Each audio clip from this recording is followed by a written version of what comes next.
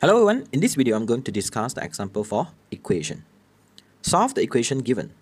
So first what we have to do is to expand the situation.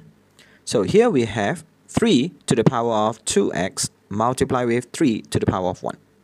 Minus we have the 16 multiplied with 3 to the power of x plus with the 5 equals to 0. As we all know, we have the common terms which is the 3 to the power of x. So kindly rewrite the situation. 3 bracket we have 3 to the power of x bracket square minus we have the 16 bracket 3 to the power of x plus with the 5 equals to 0. Let y is equals to 3 to the power of x. So we have 3y squared minus 16y plus with the 5 equals to 0. So kindly factor the situation. So we have 3y minus the 1 multiplied with y minus the 5 equals to 0. As we all know, the y actually equals to 3 to the power of x. So here we have 3 to the power of x, here we have 3 to the power of x, which is equals to 1 over 3 equals to 5.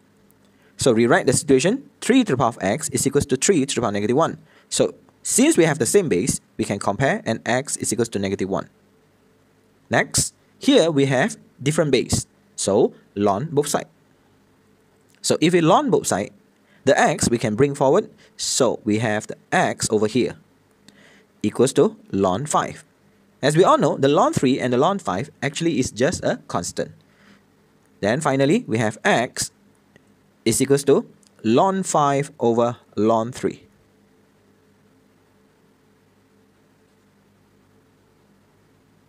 If you are new here, kindly consider subscribing to this channel and share this video to your friend. Thank you so much for watching this video. Bye.